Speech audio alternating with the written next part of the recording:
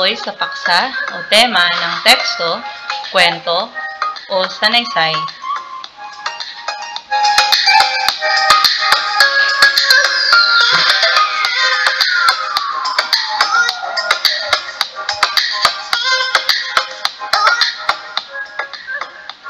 Paksa o tema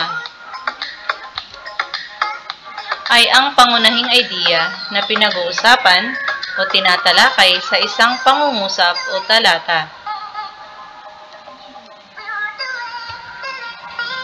Ay ang central na idea o kaisipan na nasa loob ng sanaysay o teksto o ang mahalagang pangkaisipan ng akda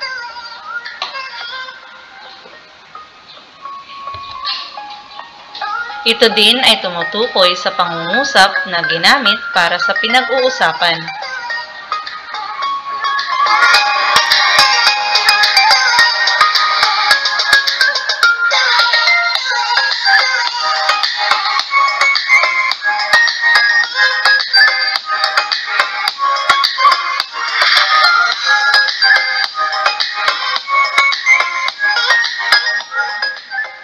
Sanaysay Ang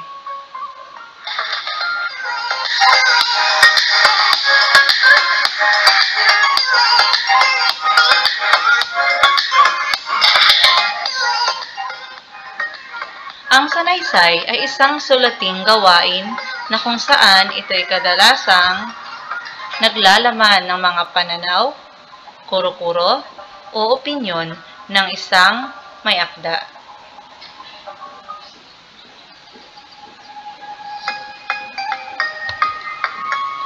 Maipapahayag ng may akda ang kanyang damdamin sa mga mambabasa ito rin ay isang uri ng pakikipagkomunikasyon na ang ukol nito ay maipabatid ang inyong saloobin sa isang paksa o issue.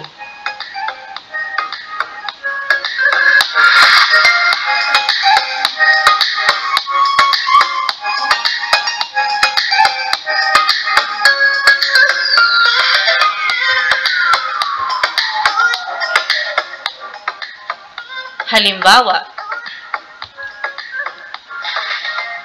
tunay na kaibigan. Ito yung mga taong kahit kailan hindi mawawala sa iyo. Sila yung mga taong alam ang kahinaan mo, pero hindi nila gagawin ito para lang makalamang sa iyo. Ang tunay na kaibigan yun yung mga taong kahit hindi ka laging kinakausap, dahil sa meron din silang kani-kanilang buhay, mararamdaman mo sila sa oras na kailangan mo sila. Nakakatuwa, yung mga kaibigan na biglang nagpaparamdam. Tila bang ang saya kasi hindi mo inaasahan na magiging ganoon sila. ang bangka na masasakyan mo sa agos ng problema. Intindihin mo sila para intindihin ka rin nila.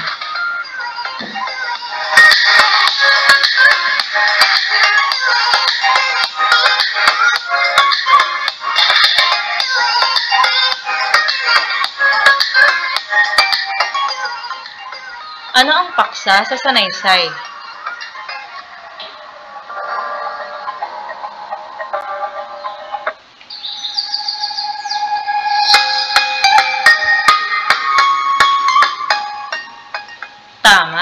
Tunay na kaibigan.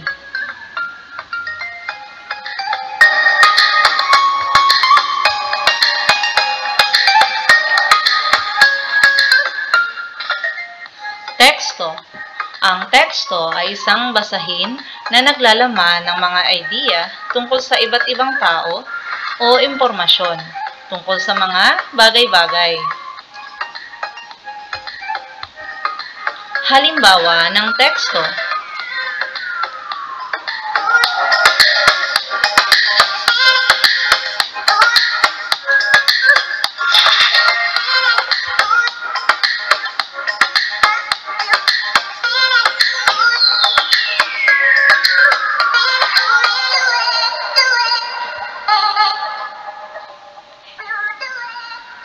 Edukasyon Edukasyon, isang salita, subalit madaming kahulugan. Maraming tao ang nagsasabi na edukasyon ang pinakamahalagang bagay sa tao. Sa pamamagitan ng edukasyon, nagkakaroon ang mga tao ng malawakang pag-iisip. Nadadagdagan ang kaalaman at ito ay nagiging susi sa tagumpay.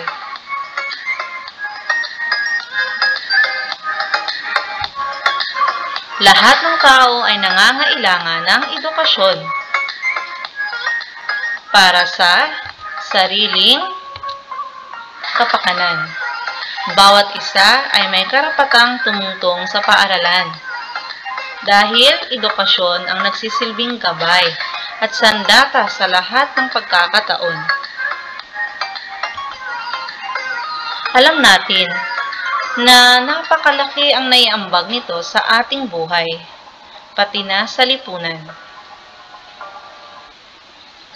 Edukasyon ang tanging paraan para masuklian ang paghihirap at sakripisyo na pinagdaanan ng ating mga magulang. Ang pagkakaroon ng pagkakataon na makapag-aral ay biyaya na hindi maaaring sayangin, pabayaan, at ipagbaliwala.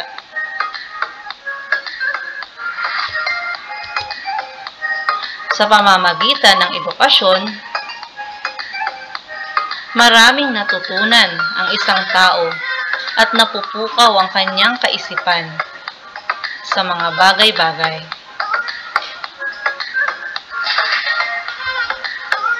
Natutong dumiskarte sa buhay at nagkaroon ng lakas ng loob na harapin ang mga problema.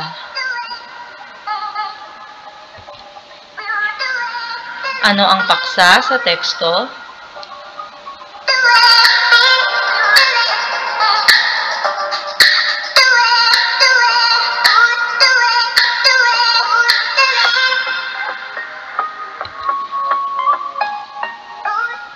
Tama, edukasyon.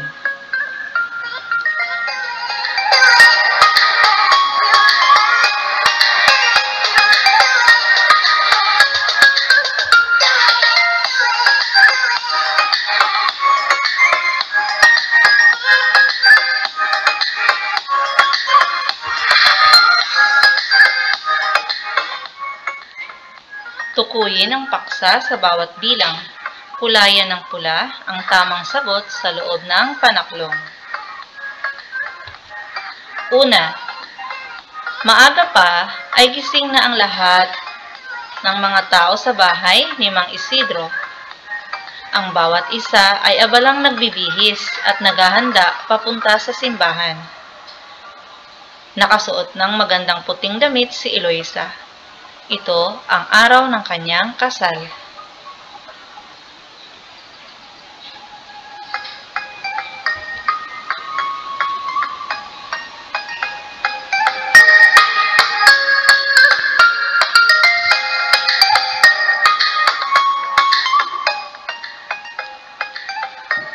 Pangalawa, may iba't ibang kahulugan ang bawat kulay. Ang asul ay kapayapaan. Ang pula ay katapangan. Pag-ibig naman ang kahulugan ng rosas. At panibugho naman ang dilaw. Kasaganaan naman ang berde. At kalungkutan ang itim. Marami pang kulay ang may kahulugan.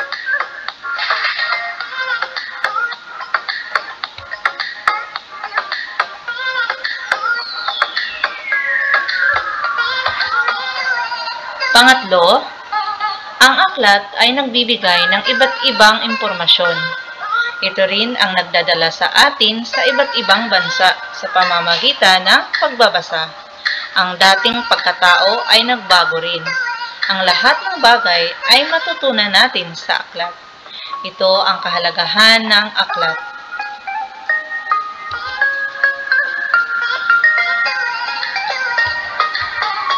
Pang-apat, isang pagdiriwang na pinakahintay ng halos sa karamihan ay ang Kapaskuhan.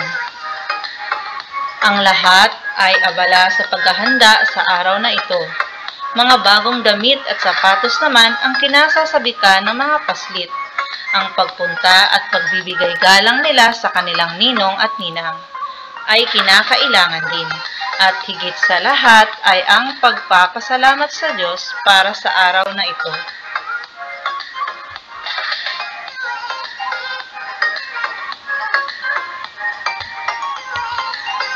Panglima, isa sa kinahaharap ng maraming tao ngayon ay ang pandemyang COVID-19.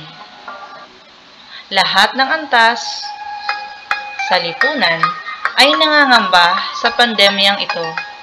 Wala kasing pinipiling tao ang pwedeng dapuan ng epidemyang ito.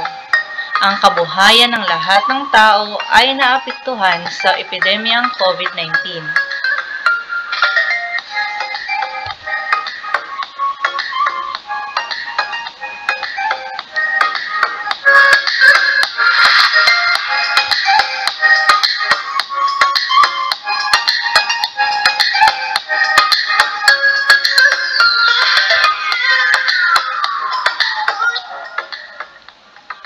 Isulat ang tama kung natutunan mo at mali naman kung hindi mo natutunan ang isinasaad sa bawat bilang.